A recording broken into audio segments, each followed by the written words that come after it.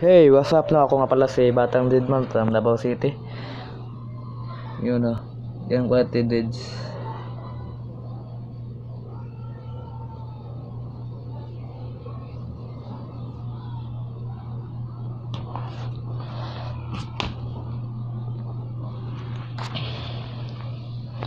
Quality Dids, quality Dids.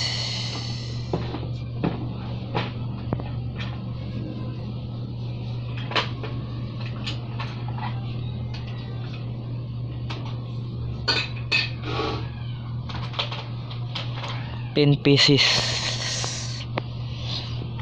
Ginamit kong ganun sila isa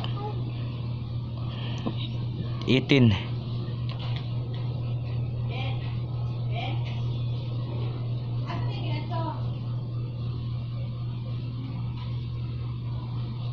Davao Jack Artist.